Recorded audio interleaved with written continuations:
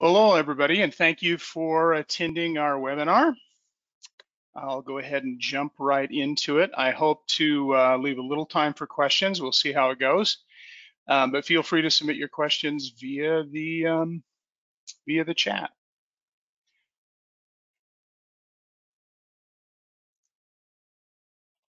All right, so here's the agenda for today. So why does LTE still matter? Of course, I think most people realize that it, it does, of course, but I'll go over just a little bit of data for that. And then we'll talk a little bit about how UE processes or goes through a connection to the network.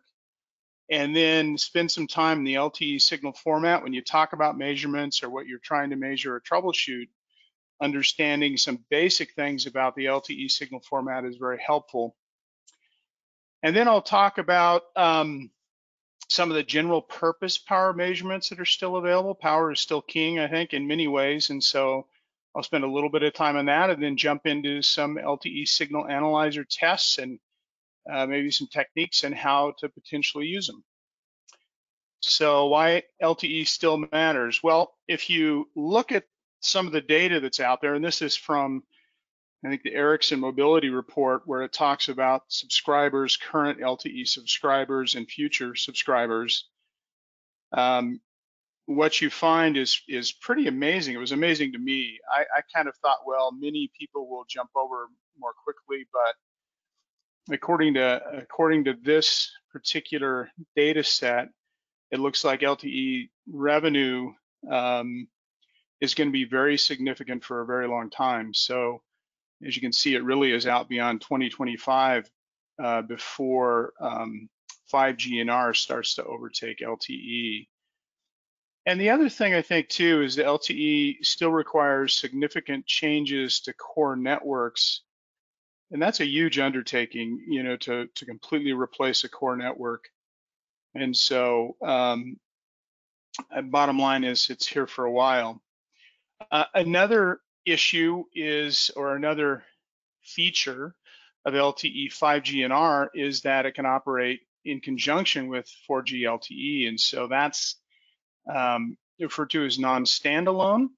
And so for the time being, many of the networks that are out there, in fact, most uh, in many countries, perhaps all, uh, LTE really acts as the control plane. So if you're really trying to hype 5G NR or trying to really utilize it to a significant advantage, uh, LTE is critically important because you can't really even attach to a 5G network unless you you have a good LTE um, 4G signal.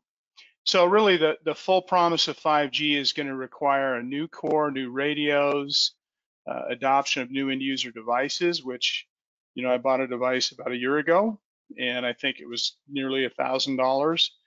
Um, not going to replace it anytime soon. So it's going to take time to get all that stuff in place. So LTE is here to stay for a while at least. So uh, the UE process of connecting, and uh, you know, I guess this this sort of illustrates which channels, physical, logical channels, what you know, what things are important when you go to troubleshoot a network. And so I'll go briefly through that process. So mobile powers on, it begins to search for carriers, and it's essentially doing a, a search through frequencies. Um, and once it finds a carrier, it starts to decode the primary sync signal, then it decodes the secondary sync. And then from that, it calculates the PCI and detects reference signals that are um, coming from that carrier.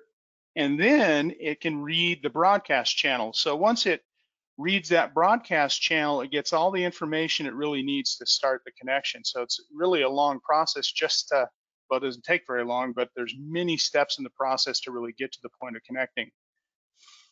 So um, you got to have those those channels in place, primary sync, secondary sync, reference channels, um, uh, you know, the broadcast channel, all of those need to be in place for the system really to, or for the phone really to connect.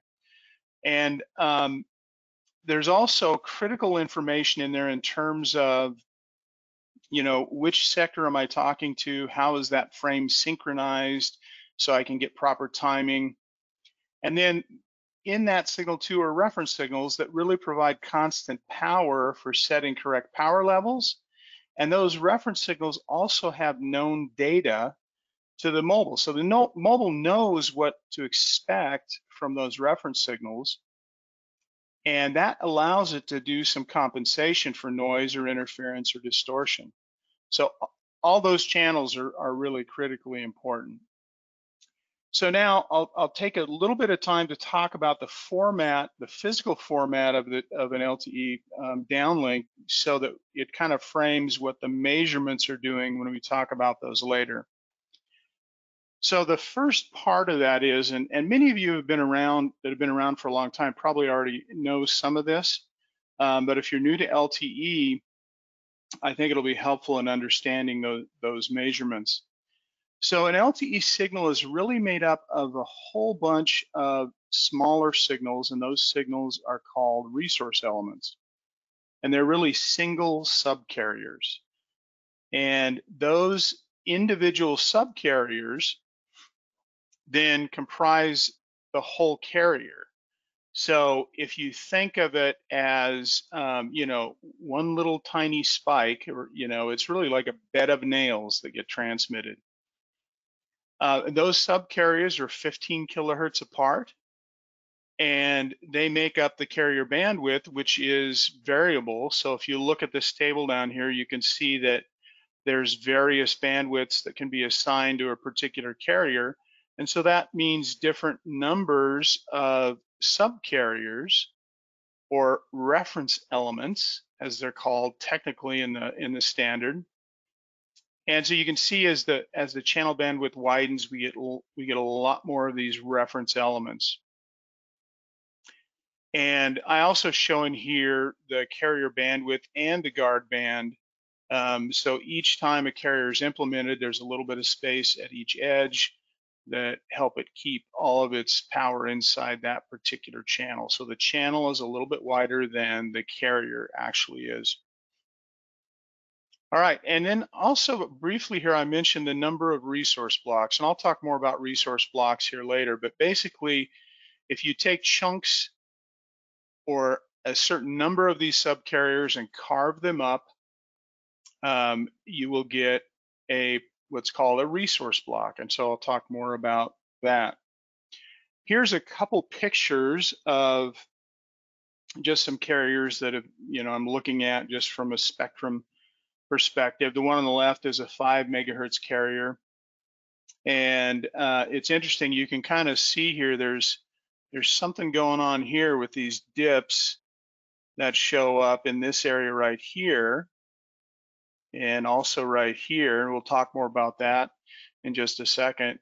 And this carrier is a little bit lightly loaded. It's, you know, you can see that there's a, um, this is a power density display. So the uh, brighter the color means that there's more power. So in other words, the this carrier is spending more time idling.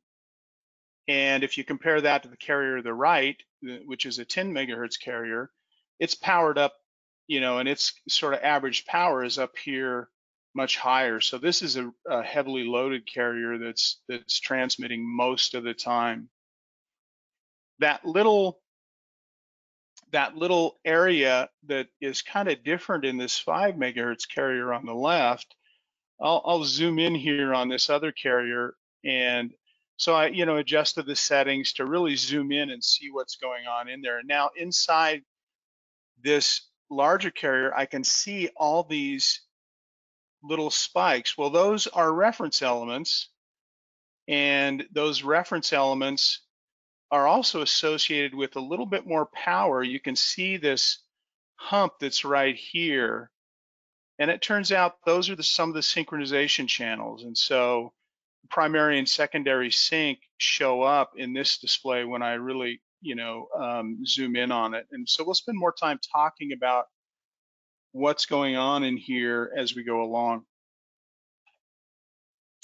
Okay, so that was all frequency discussion. So if I go back to slides, right, this is a discussion of frequency. So we're talking about carriers in a frequency bandwidth, Here we're looking at frequency. And then finally here, we're talking now about time, what happens in time. So uh, LTE is a framed system, so there's framing and, you know, or chunks, and each frame is 10 milliseconds in length. And those frames that are constantly spewed out of a radio are broken up into one millisecond chunks, and those are called subframes. So you have a subframe that's um, that builds up to a frame, and then within a subframe, you also have slots. And there's two slots in a single subframe.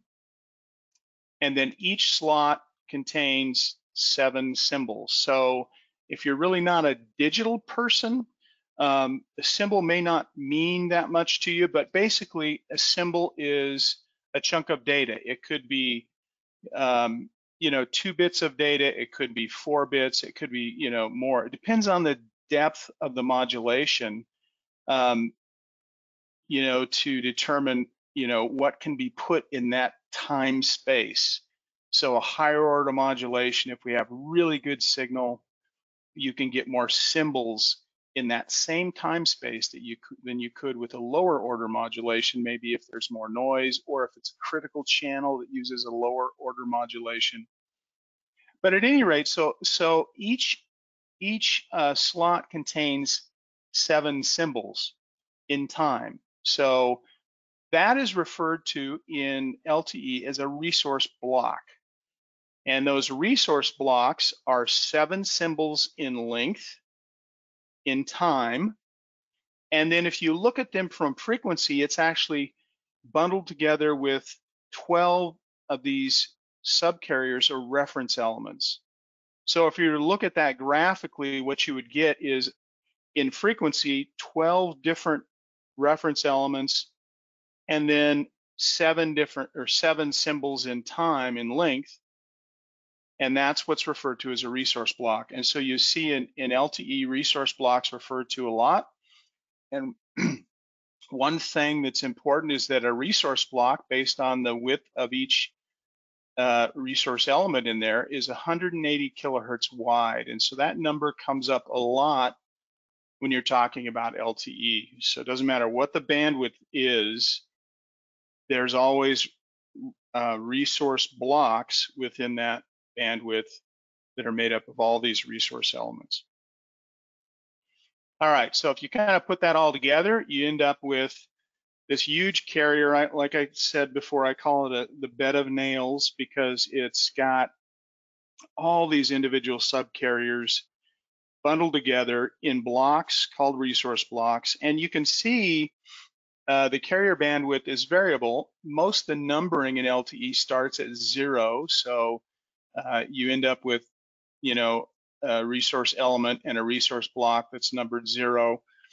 And so if you look at each one of the different bandwidths, whether it's 1.4, 3, 5, 10, 15, or 20, you have a different number of resource blocks that contain a different number of resource elements, but they're always proportional. Okay, now in some places I'll switch and we'll be looking at time on the axis versus frequency. So you kind of have to look at the slides to figure out you know, which which direction I'm looking at. So, so far it's always been frequency along the horizontal. Um, so if you look at a resource block um, that has all these different resource elements, so every little box in this diagram is a resource element. So every one of them we refer to as a resource element. Um, inside that resource uh, that set of resource elements, there's special signals put in there called reference signals or RS. So you'll see me use the term RS a lot as we go through this. Those reference signals are always present.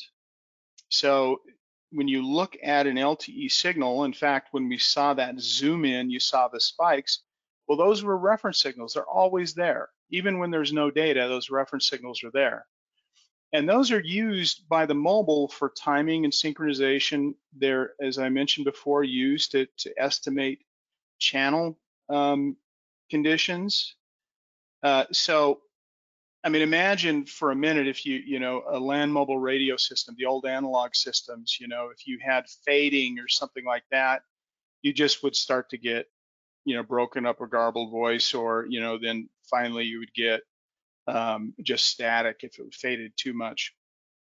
Well, because those reference signals are always sent out at a particular power level, the LTE mobiles or UEs that are out in the network, they can they can use that information to say, okay, I'm experiencing fading here, or I've got delay here, or I've got two signals coming in at different times because I can I can correlate those two based on the reference signals. Um, so really, it's an important feature of LTE, those reference signals.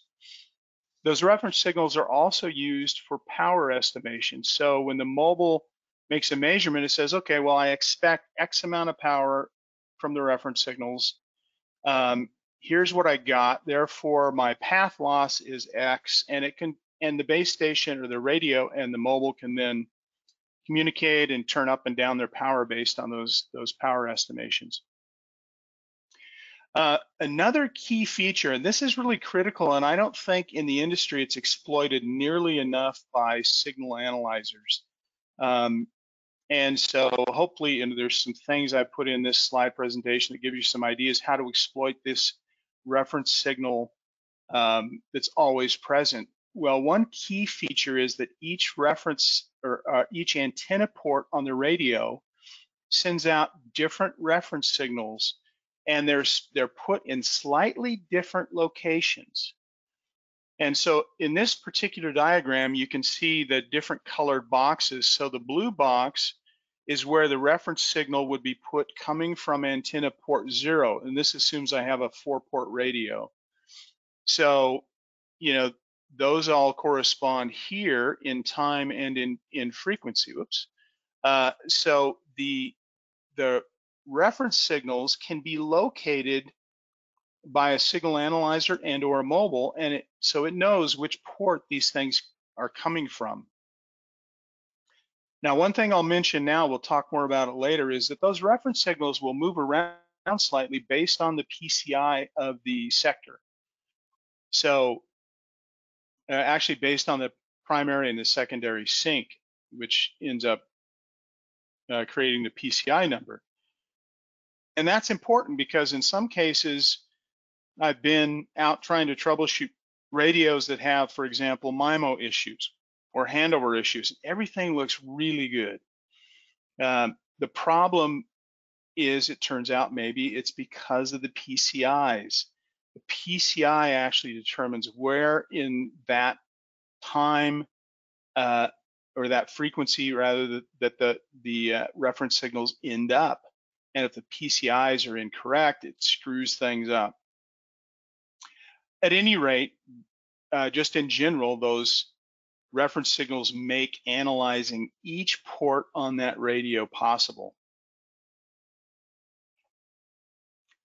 Okay, another important feature of LTE or another important uh, channel are these primary and secondary sync uh, channels and they're used by the phone when it you know when it starts up and then you know down the road as well to achieve frame sync to get channel information to identify which PCI they're looking at and those those channels the the primary sync and the secondary sync are put in a particular place inside the LTE frame and if you look at this, this is the center of a carrier. That's the little center frequency we zoomed in on.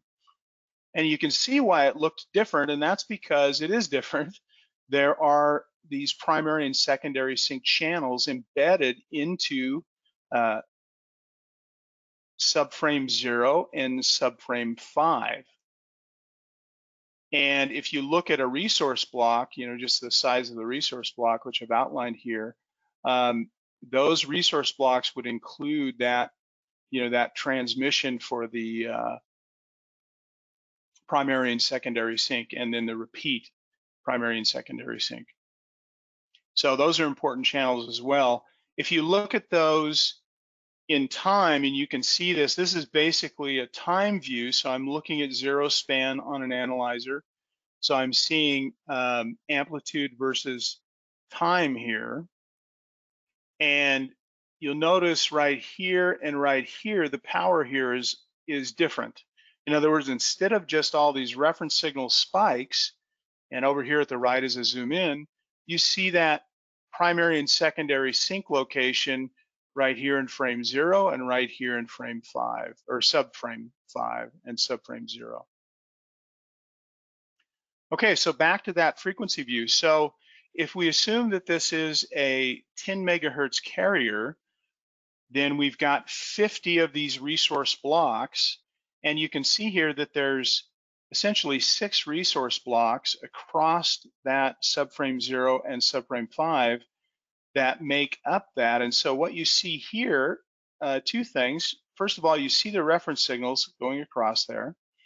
The other thing you see here is this whole area right here is above everything else, and that's because this is a very lightly loaded carrier, and there's really no data in it except for this primary and secondary sync, and you can clearly distinguish that in this in this view. Um, one of the things, you know, we saw earlier, right, that the bandwidth of an LTE carrier, the smallest one is 1.4 megahertz.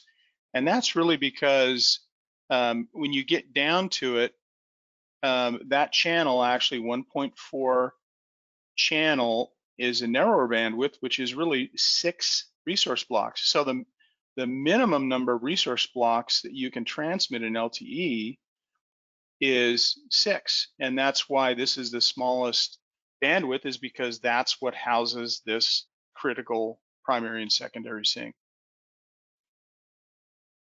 Okay, so what are some of the implications of this? Well, with regard to reference signals, because they're always present, um, you know, carrier power can fluctuate, but the reference signals don't within that carrier. They're supposedly constant all the time, or should be. So they give us a good idea of what the signal, you know, good reference really for the signal power and the overall signal quality. Um, the fact that the reference signals are unique, obviously, as I mentioned, you can then troubleshoot individual antenna ports for, you know, for power and signal quality and so forth. The PSS and, and SSS or the primary and secondary sync are also critical. And, you know, we can look at those in terms of power and, you know, EVM. Those, many of these, these channels can be set, you know, manually. Uh, and sometimes there's mistakes made in the setting of carriers. And sometimes, you know, it's useful to be able to see those different settings. And then finally, 180 kilohertz resource blocks, because that's really the channel communication medium it's the measurement bandwidth that's really most used for determining things like receiver noise level. So you'll see it over and over again. And some systems might report different bandwidths, power levels for different bandwidths. Um, but really what it comes down to is that the primary communication channel is 180 kilohertz. So, so that's really helpful as a standard for understanding things like receiver noise floor. Okay, so let's jump into some of the testing. So general purpose tests, uh, power, um, I just mentioned that it's always bandwidth specific.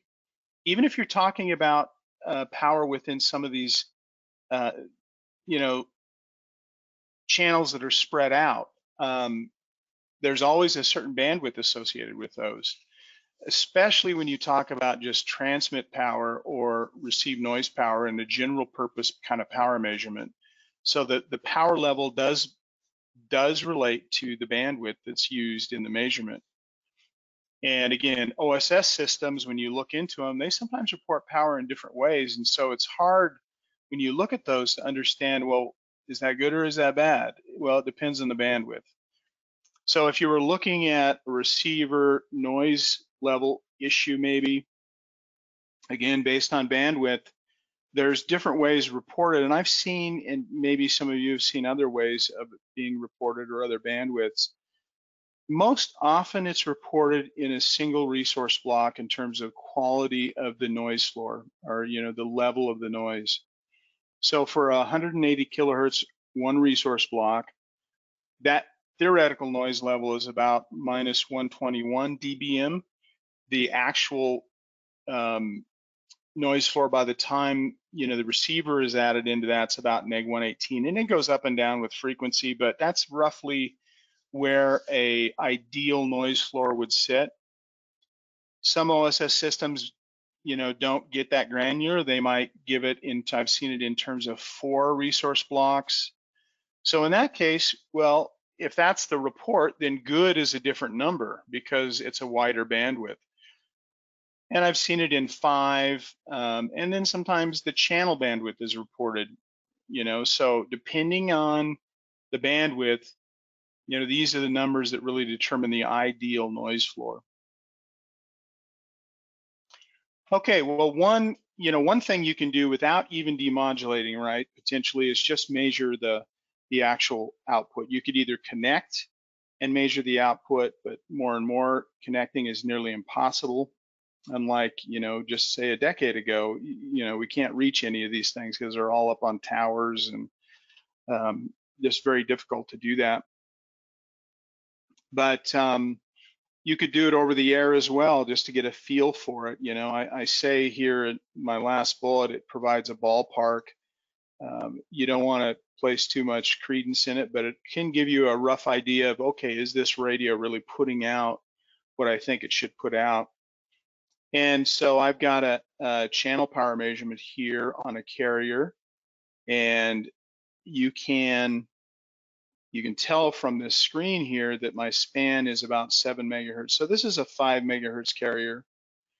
And I've turned on some averaging. It's usually helpful because you know the signal jumps around a lot. And so this radio is putting out about minus 38 dBm. So is that good or bad? Well, the only way really to know that for sure is just do a quick path loss estimate based on your equipment and the you know the over-the-air path loss, and that's fairly easy to do. This is just a quick example of one. So if I measured 40 dBm, you know, at the analyzer at 0.1, then I'm using an antenna that has a certain amount of gain probably, and you do want to use a directional antenna so you isolate a particular sector um, so if my antenna has 14 dB of gain, that means that it's lower in power on the on the other side of that antenna.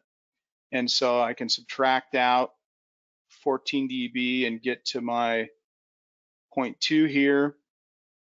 And then I can include path loss. And, you know, I throw a formula in here for path loss if you want to make this estimation at some point.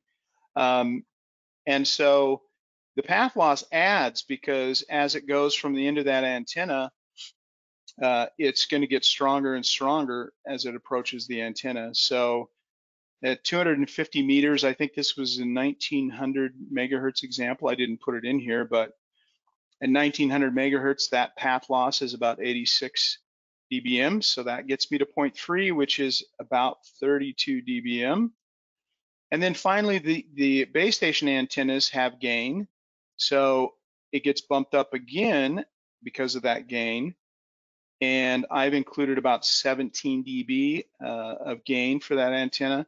And so bottom line is my base station is putting out roughly 49 dBm. So just a quick and dirty calculation to say, yeah, it looks about right. Now, um, uh, I'll mention before I go on here, if you do have signal analysis, capabilities, oftentimes they will measure or you'll want to measure the reference um, signal power because it's always constant, always there. And you don't have to do any calculations other than you could do some path loss to figure out what it is. But um, this is only if you really don't have uh, signal analysis capability. Okay, another kind of common power measurement, which is uh, done sometimes to see if the radio is operating within the band it wants. This really varies by country. Some countries use this a lot. Some countries, they don't care unless somebody complains. Um, but there's also in, in many of these signal analyzer products, there are, you know, channel spectrum kinds of uh, measurements. In this case, it's really an occupied spectrum measurement. And so it's saying here that in this this measurement, it's saying that 99% of the power is in this particular bandwidth. Well, that's certainly within the 10 megahertz channel. But if you look way back at the beginning on the chart, it turns out that's wider than the actual carrier. Well, why is that? Well, it turns out if you look over here on the right, there's this funny looking hump right here. And on this, this measurement, that could be one of two things. It could actually be an out of band um, LTE, you know, LTE IoT uh, signal. So that, you know, that some carriers put an IoT signal, which is LTE for, you know, very low data rate devices um, next to the carrier, just out of band. In this case, I think this is a GSM carrier that has been crowded in right next to uh, this LTE carrier because they still need to keep a GSM channel up because they can't get rid of all their GSM phones yet. But you can usually set that and measure it according to how you want want to do it, either by um, you know a level. So you could use signal level to say that it is you know it's in channel or not, or you could use a percent of power you know calculation as well. Okay, so let's talk about what's actually being measured and how it's measured.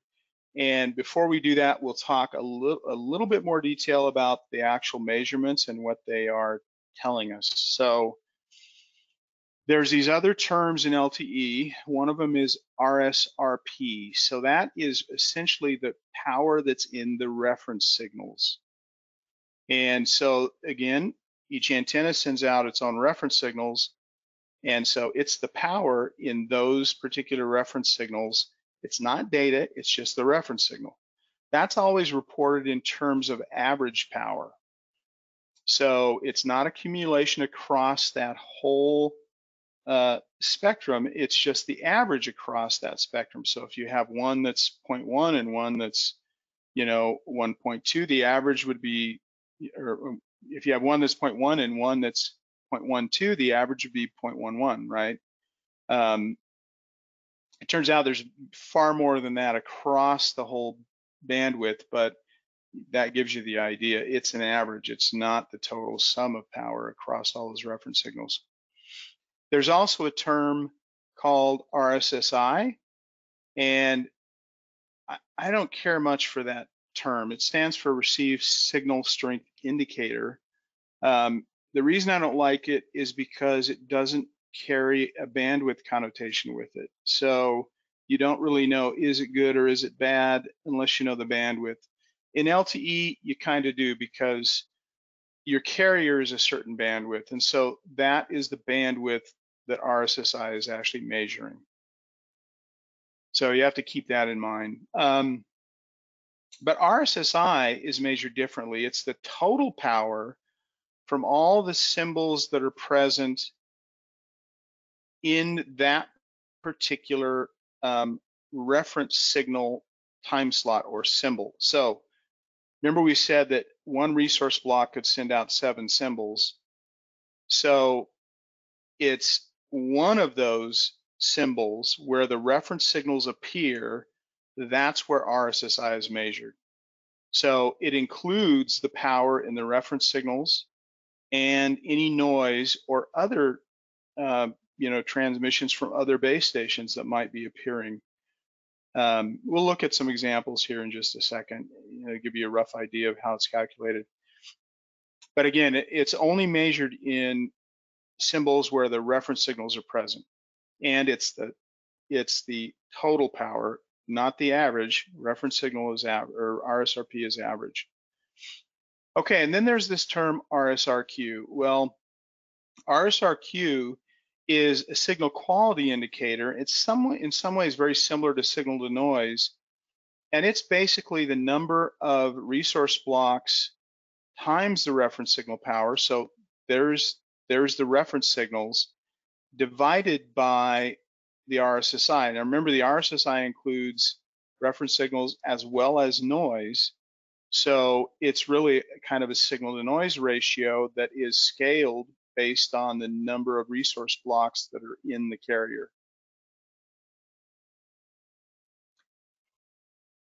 Okay, so a couple of examples. Here's an example. If you have a carrier that's completely unloaded, single carrier, no noise, best possible case, only reference signals exist, um, you can go through the calculation and say, okay, well, the RSSI is going to be essentially equal to the number of reference signals. So if I assume I've got a 5 megahertz carrier, every resource block in that 5 meg carrier has two of these.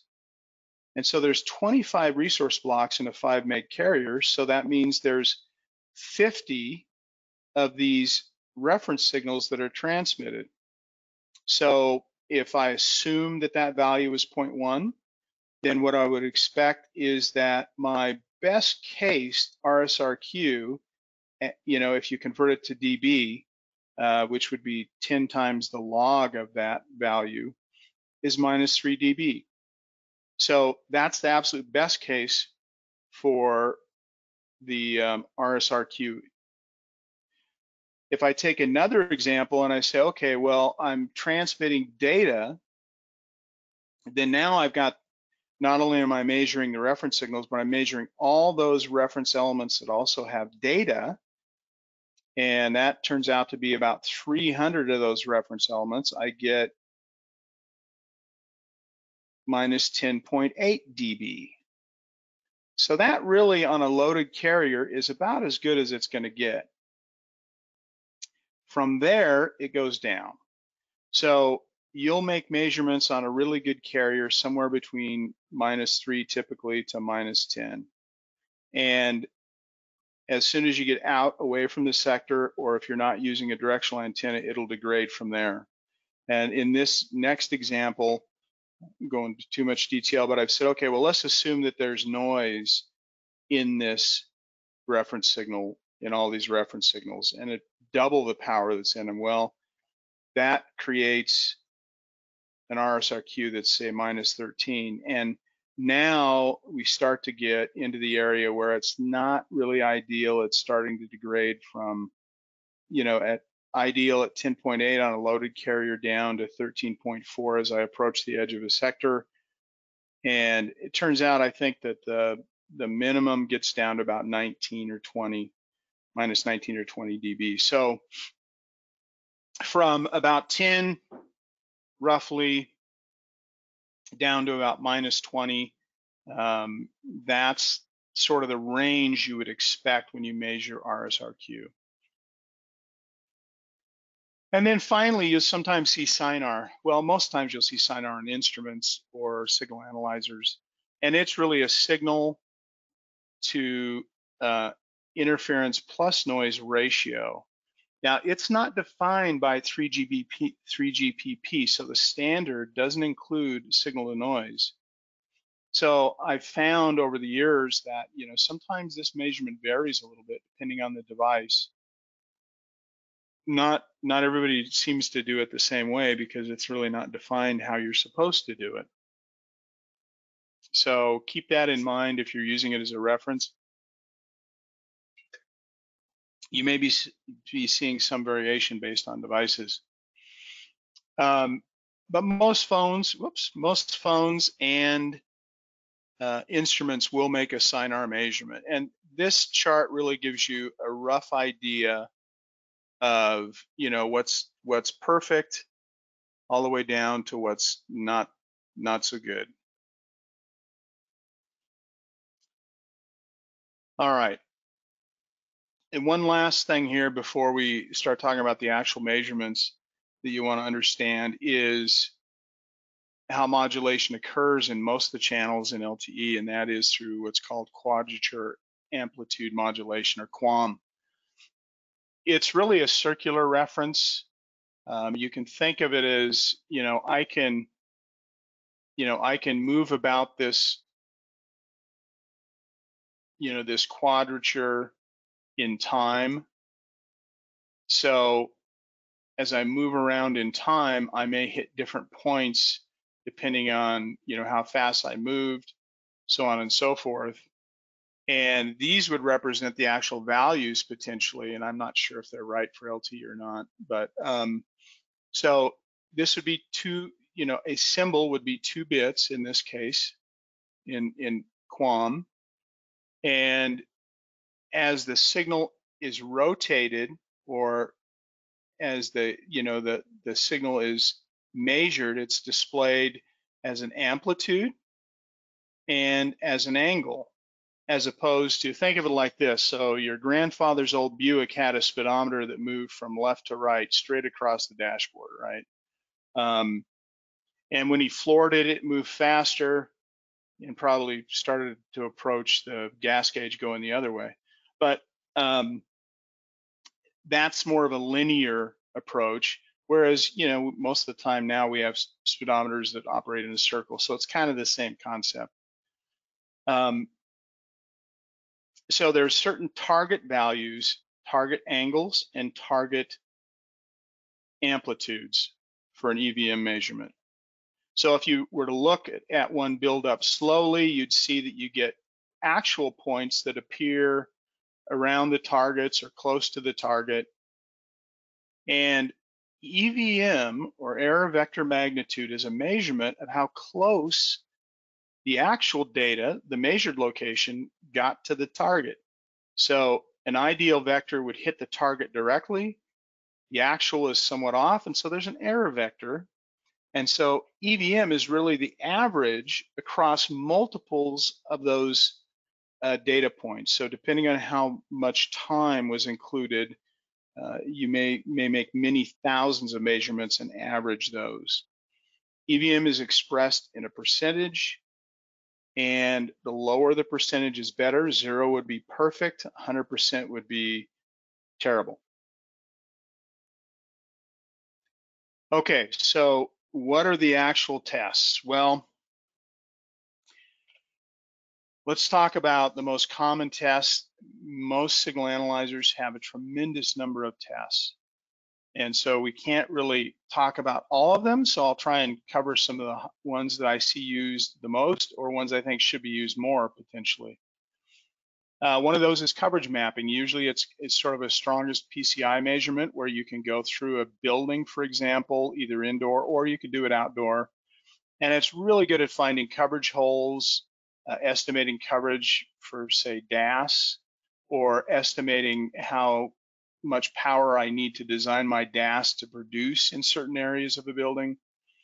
Um, and you know, there's solutions that do indoor as well as outdoor uh, for instance, you know, we, we work with a product that allows you to um, move around inside a building and, and it knows pretty much where you're at when you move, whether it's up, down, forward, backwards.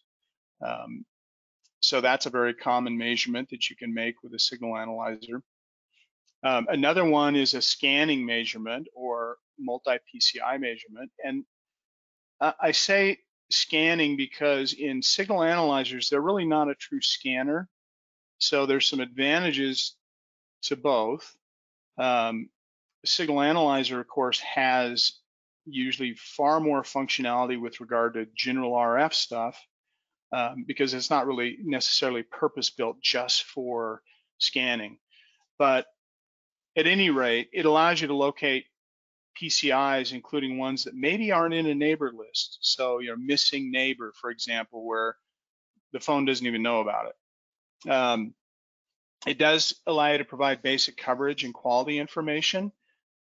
And multi-PCI measurements are typically done in, in um, signal analyzers a in a different way than they're done uh, for some channel kinds of measurements. In other words, typically when you're doing this kind of a measurement, you want it to be fast. So there's oftentimes some shortcuts made to try and speed it up so that you can make these measurements as you drive down a highway or move through a building or whatever.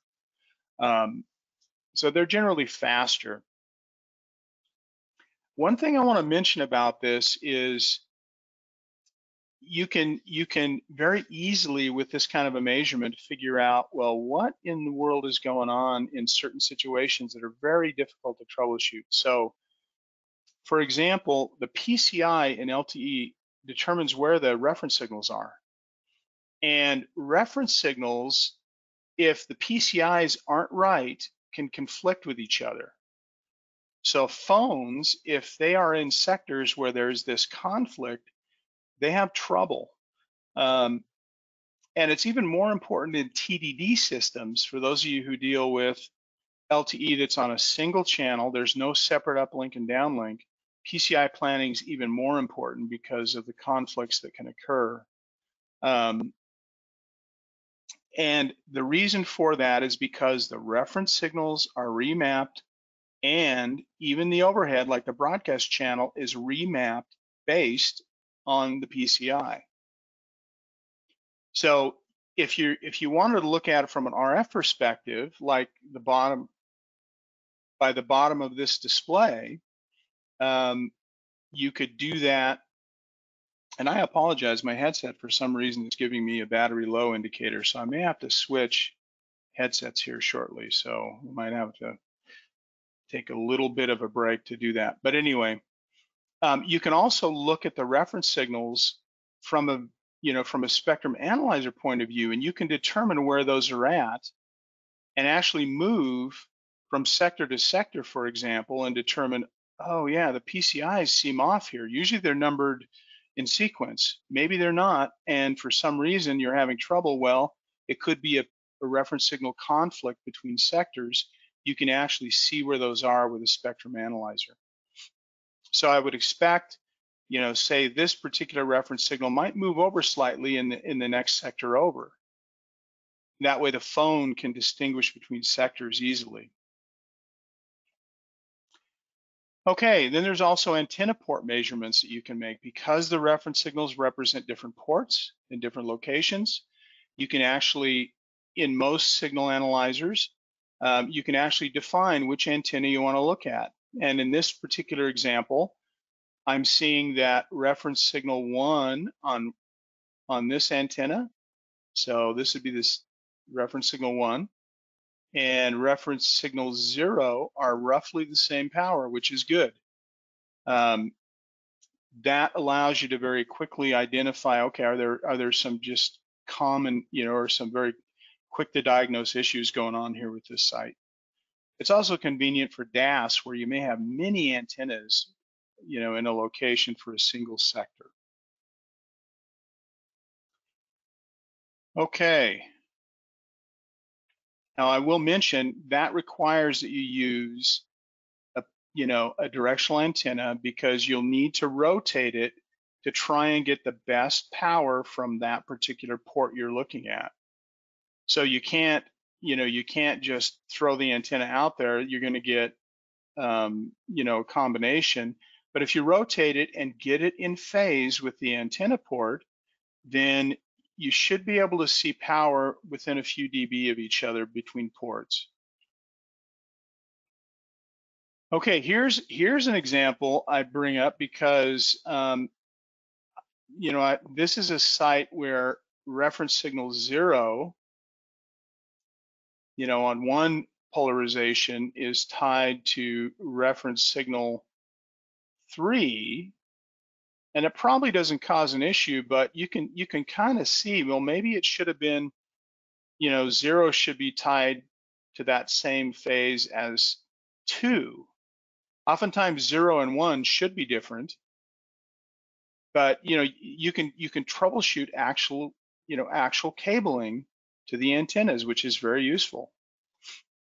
So you can't see which port is which, even with binoculars, you know, do this to figure out if you need to call a contractor to climb the tower.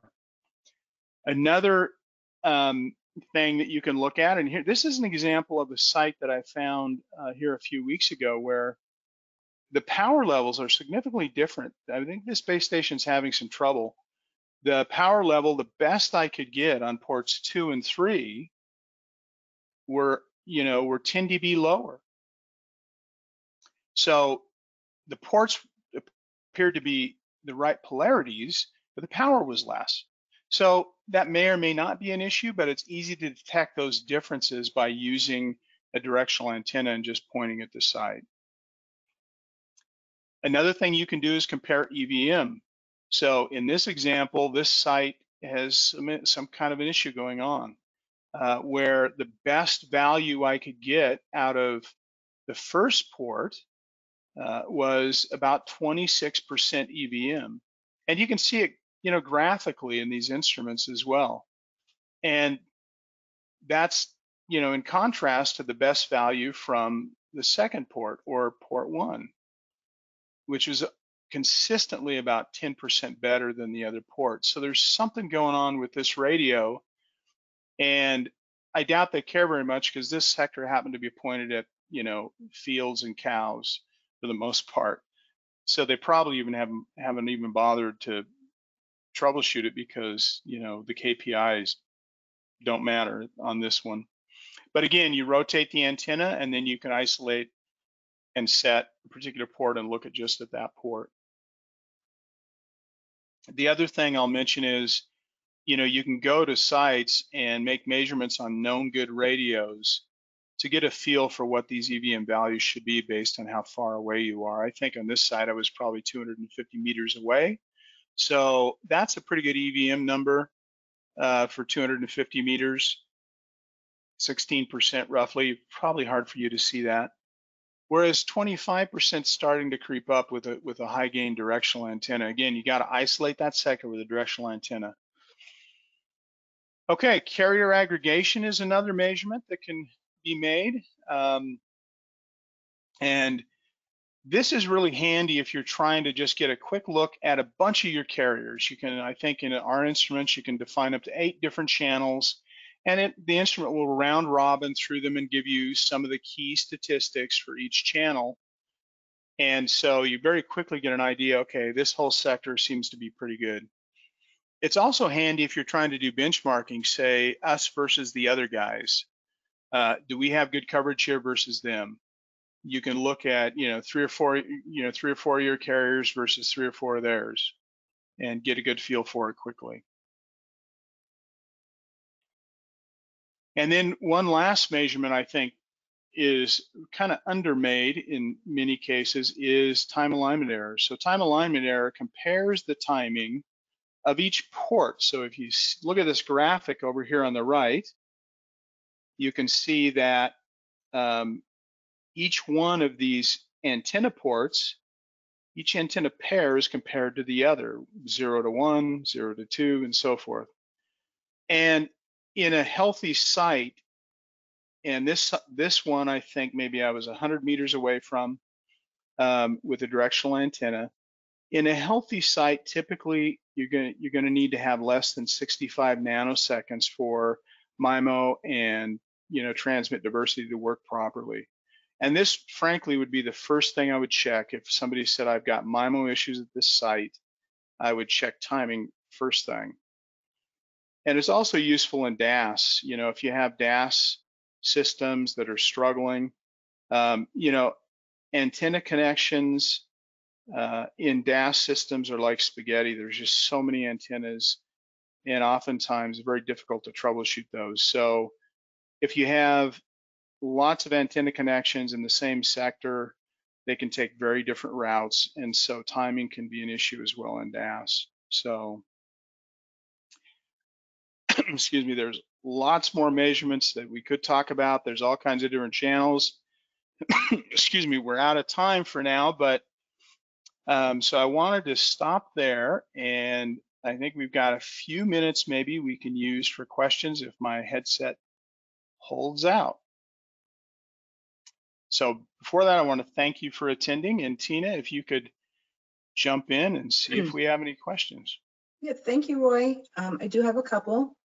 Um, majority of them were wanting the slides. Um, and again, those that have registered will get a post webinar email and they will be sent to you directly. So uh, one of the questions is, what feature, if any, is available on the spectrum analyzer that can depict time delay measured in the field off air on the LTE protocol? Yeah, well, when you have a GPS, um, and I'll have to look at our latest analyzer, what it has in terms of delay. But we do have GPS, and so I think that we probably have someplace in some of these measurements a delay. So I'll make sure I get your email address and look in there to um, to respond to you. But it, I think it's something we could potentially add fairly easily if we don't have it in one of the screens. There's so many screens I don't remember, but I'll so I'll follow up with you. Um, the other one is a two-part question. Um, why did you subtract the gain? Usually it's added. Also, what's the impact of RS boost? Uh, okay, well, first question, why did I subtract the gain? Well, the antenna, I'm working back from the instrument. So at the instrument, the gain is higher than it is just outside the antenna because the antenna has gain. As it goes from through the antenna to the instrument, the gain goes up. But if you go the other way, it goes down. So that's the answer to the first one. So boost, what that I think refers to typically from my understanding is that you can take the reference signals and boost their power and you know above what you normally transmit data with. And that allows the phone uh, a little more latitude as far as detecting you know its its channel conditions as you know in areas of poor coverage or you know inter handoff sections um, so having those reference signals is critical and boosting those reference signals can provide some additional um, additional benefit when signal coverage isn't isn't as good as it could be. The um, the bottom line is though it steals power away from the data, so it does reduce somewhat the uh, data throughput that you probably could expect. So I hope that helps. Um, there may be a lot more other tricky things about kicking up the boost of the reference signals um, that I'm not aware of, but uh, certainly if you want to follow up with me, I'm happy to dig into that and talk to some performance engineers that I know that might be helpful in giving you a better answer. Thank you, Roy. That was all the questions that have come in. Uh, there's any other questions? Uh, go ahead and type them in. We'll give you one minute. Otherwise, um, you can contact Roy and he will get back to you. Okay. Uh, All right. Well, Don't have any more questions, Roy. all right. Well, hey, I want to thank everybody for attending. Really appreciate it. And uh, have a great Thanksgiving holiday. Thank you, Dina. Great. Thank you, everyone. This concludes our webinar. Goodbye.